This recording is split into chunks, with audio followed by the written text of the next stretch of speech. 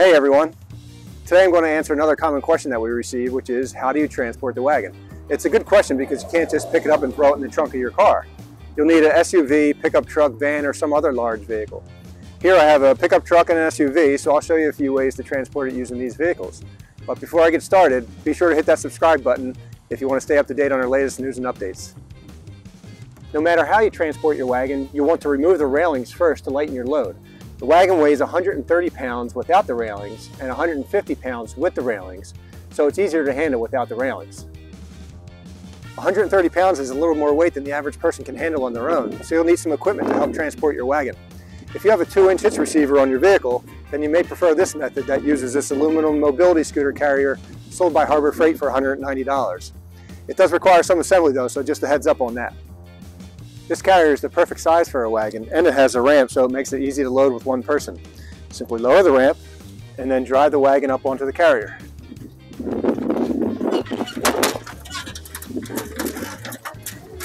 All the way until the front wheels hit the side of the carrier. Then you just remove the handle and strap the wagon down. I can show you that procedure in another video.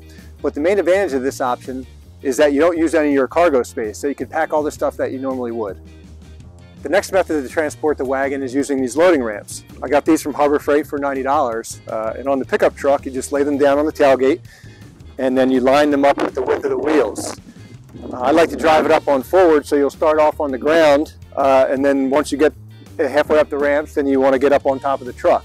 The wagon has brakes, so it's okay to do that. So I'll just go ahead and show you how, how it's done. Once you get it to about here, then you're going to jump up and then just drive it right up. And then once it's up on the truck, you're going to want to strap it down and you're good to go.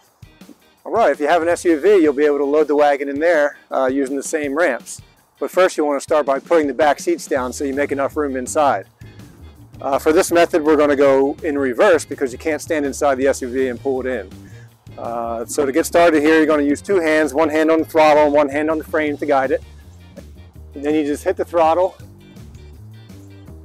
and then guide the wagon up the ramps.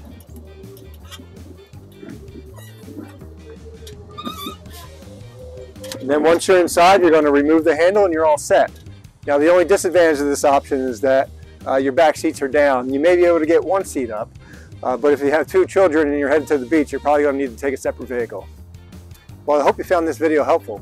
If you want to stay updated on our latest news and helpful hints, be sure to hit that subscribe button. Thanks for watching.